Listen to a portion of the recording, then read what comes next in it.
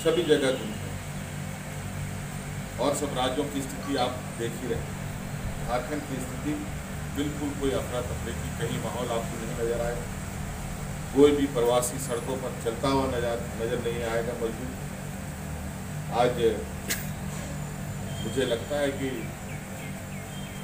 हम लोगों ने जो प्रबंधन किया है इस कोरोना के संक्रमण में, आज उस प्रबंधन का नतीजा है कि इस राज्य में पूरा शांत वातावरण है, आम नागरिकों का भी सहयोग पूरा है और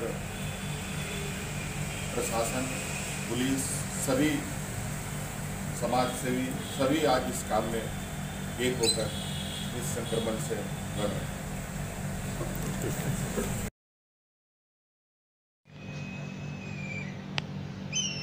संख्याओं की जो बढ़ोतरी हो रही है, हालाँकि हम प्रोत्साहित हम संख्या संख्या बढ़ने से नहीं है, क्योंकि हमें मालूम था कि ये चीज़ें होनी है। और उसको ध्यान में रखकर ही हर कदम उठाए जा रहे हैं। अगर, आज दो चार दिनों के अंदर संख्याओं में और उसके ठीक होने में कोई बदलाव होता है या कोई उसकी गति, उसकी व्यवहार में कुछ बदलाव होता है, उसके अनुरूप हम लोग निर्णय लेंगे। अगर ऐसी ज़रूरत पड़ेगी तो लॉकडाउन बढ़ाने की भी ज़रूरत पड़ेगी तो कुछ दिन बढ़ाया जाएगा। इसके लिए कोई लोग, हड़बड़ी में नहीं है। पहले राज्य के लोग बचें, तभी चीज़ें आगे बढ़ी।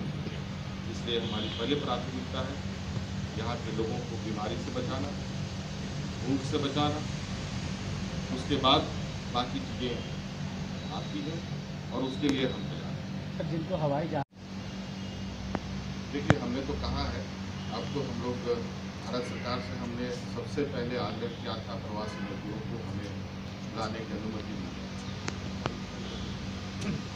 बहुत विलम्ब से श्रमिक ट्रेन मिला और लगातार आपने देखा है कि देश में सबसे पहले अगर प्रवासी मजदूर आए होंगे वो भी हमारे ही राज्य में आए थे और ट्रेन भी हमारे ही राज्य में सबसे पहले और अभी भी लगातार लोग आ रहे हैं और इतनी बड़े संख्या में प्रवासी बाहर हैं। अब मुझे लगता है जहाँ से लोग प्रवासी निकलते हैं काम करने के दूसरे राज्यों में, उन राज्यों को भी आभास नहीं होगा कि इतने बड़े पैमाने पर बाहर लोग अपने रोज़गार तलाश लिए जाते हैं ये हमारे लिए बहुत बड़ा चिंता और चुनौती का विषय। और जिसको लेकर हम हर मजदूर तक पहुँचने का प्रयास कर रहे हैं।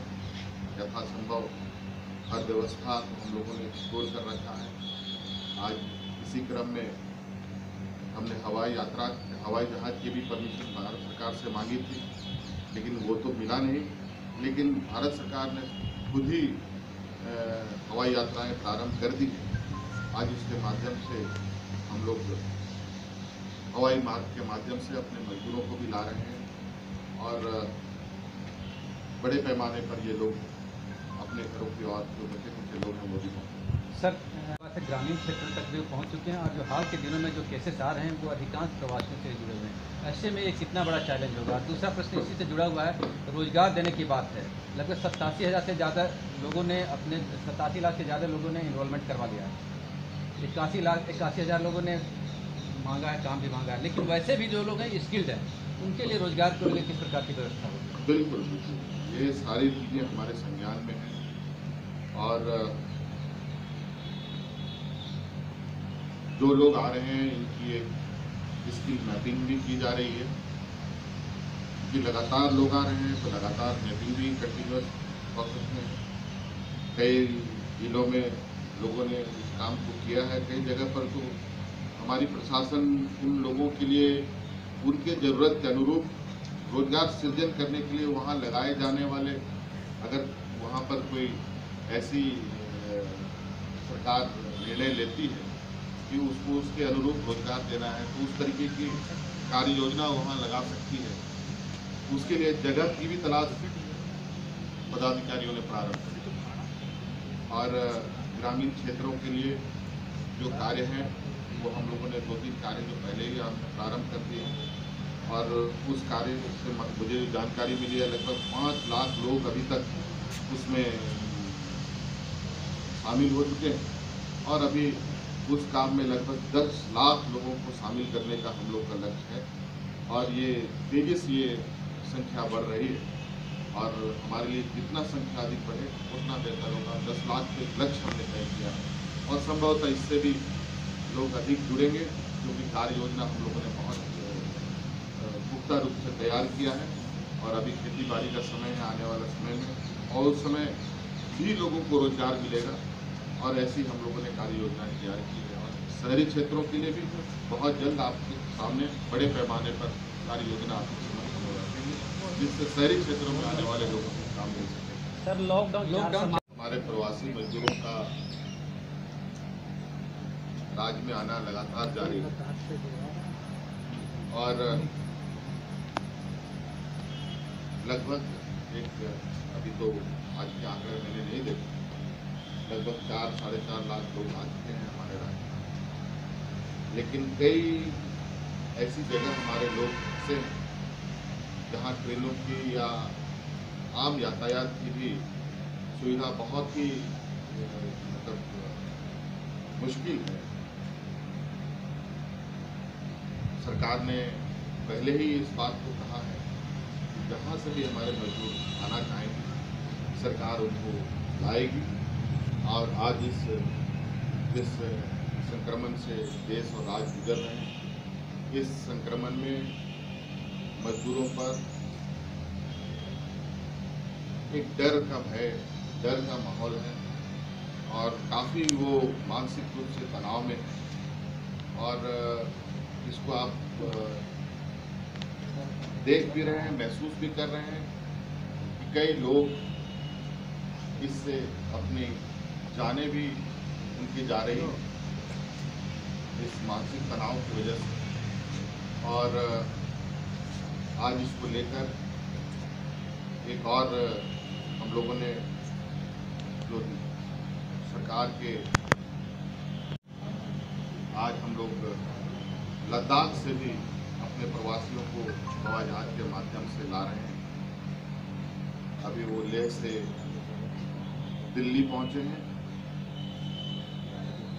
हवाई जहाज़ से, फिर शाम के हवाई जहाज़ से वो अपने राज में आएँगे। और ये हमारे लिए खुशी की बात है। अभी कुछ दिनों के बाद अंडमान निकोबार से भी हमारे प्रवासी मजदूर आएँगे। और लगातार मजदूरों का मुझे लगता है जो मूवमेंट है, वो मूवमेंट जितनी जल्द खत्म हो राज्य सरकार के लिए ज़्यादा बेहतर होगा ताकि आगे की कार्य योजना बेहतर तरीके से हम लोग सुनिश्चित कर पाएँ। आज इस मानसिक तनाव से निकलना भी ज़रूरी है और आने वाला समय में जीवन को सामान्य बनाना भी ज़रूरी है। इसके लिए मुझे लगता है कि प्रवासी मजदूरों को। अगर कोई राज्य में फंसे हैं, उन राज्यों से भी मेरा आग्रह होगा कि जल्द से जल्द हमारे प्रवासियों को भेजें, ताकि हम उनको अपने इस राज्य में उनके इच्छा के अनुरूप उनको सामान्य जीवन बना सकें। ज़ाहिर सी बात ग्रामीण क्षेत्र तक भी पहुँच चुके हैं और जो हाल के दिनों में जो केसेस आ रहे हैं, वो अधिकांश प्रवासियों से जुड़े हुए हैं। ऐसे में ये कितना बड़ा चैलेंज होगा? दूसरा प्रश्न इसी से जुड़ा हुआ है, रोज़गार देने की बात है। लगभग सत्तासी हज़ार से ज़्यादा लोगों ने अपने, सत्तासी लाख से ज़्यादा लोगों ने इन्रोलमेंट करवा लिया है। इक्यासी लाख, इक्यासी हज़ार लोगों ने मांगा है, काम भी मांगा है। लेकिन वैसे भी जो लोग हैं स्किल्ड हैं, उनके लिए रोज़गार को लेकर किस प्रकार की व्यवस्था बिल्कुल बिल्कुल। ये सारी चीज़ें हमारे संज्ञान में हैं और जो लोग आ रहे हैं, इनकी एक स्किल मैपिंग भी की जा रही है। क्योंकि लगातार लोग आ रहे हैं तो लगातार मैपिंग भी कंटिन्यूस प्रोसेस में कई जिलों में लोगों ने इस काम को किया है, कई जगह पर तो हमारी प्रशासन उन लोगों के लिए, उनके ज़रूरत के अनुरूप रोज़गार सृजन करने के लिए वहाँ लगाए जाने वाले, अगर वहाँ पर कोई ऐसी